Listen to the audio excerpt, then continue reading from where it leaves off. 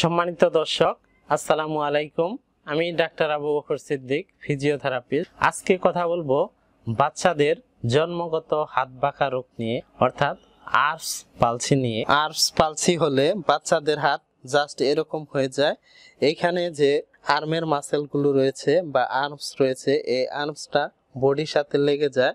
Four আর্মের muscle অর্থাৎ ফোর আর্মটা মিডিয়াল রোটেটেড হয়ে যায় এবং আমাদের যে রিস্ট জয়েন্ট এই রিস্ট জয়েন্টটা ফ্লেকশন পজিশনে চলে আসে রিস্টটা ড্রপ হয়ে যায় জাস্ট লাইক দিস এরকম থাকে। আর্মস পালসি হলে আর্মের মাসেলগুলো শক্ত হয়ে যায় এবং ইলবো জয়েন্টের মাসেলগুলো টাইটনেস হয়ে যায় ওয়াস্টিং হয়ে যায় এবং আমাদের যে রিস্ট জয়েন্ট এই রিস্ট জয়েন্টটা ড্রপ হয়ে যায়। যখন রিস্ট জয়েন্টটা সোজা করতে যায়, তখন প্রচণ্ড ব্যথা হয় এবং এদিকের মাসেলগুলোতে প্রচণ্ড স্ট্রেস পরে টান লাগে। ব্যথার জন্য বাচ্চা প্রচণ্ড কান্নাকাটি করে, বাচ্চার হাতের মাসেলগুলো শুকিয়ে যায় ওয়াস্টিং হয়ে যায়, অনেক শক্ত হয়ে যায়।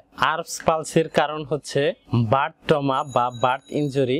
বাচ্চা প্রসবের সময় বাচ্চার মাথাতে যদি আঘাত পায়, বাচ্চার কাঁধে বা হাতের মধ্যে যদি আঘাত লাগে, এই আঘাতের কারণে ব্রাকিয়াল প্লেক্সাস ইনজুরি হয়। এই ব্রাকিয়াল প্লেক্সাস ইনজুরির কারণে আর্স পালসি হয়ে থাকে।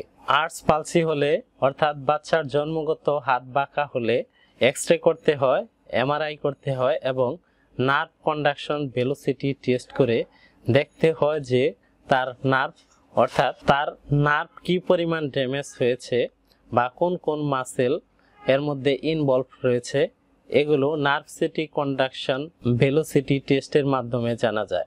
এই টেস্টগুলো করার পর বাচ্চার কোন ধরনের ট্রিটমেন্ট করা হবে, তার ডিজাইন করা হয়ে থাকে। ট্রিটমেন্টের মধ্যে বিভিন্ন ধরনের এক্সারসাইজ থেরাপি স্ট্রেচিং এক্সারসাইজ বিভিন্ন ধরনের অর্থোসিস ব্যবহার করে বাচ্চার যে হাতের ডিফর্মিটি এই ডিফর্মিটি দূর করা হয়। এবং ফিজিওথেরাপির মধ্যে বিভিন্ন ধরনের ইলেকট্রোথেরাপি টেন্স থেরাপি বিভিন্ন ধরনের ম্যানুয়াল এবং মোবিলাইজেশন টেকনিক ইউজ করে আর্মস পালসি অর্থাৎ জন্মগত হাত বাঁকা রোগের চিকিৎসা করা হয়ে থাকে। ফিজিওথেরাপিতে অত্যন্ত ভালো রেজাল্ট পাওয়া যায়।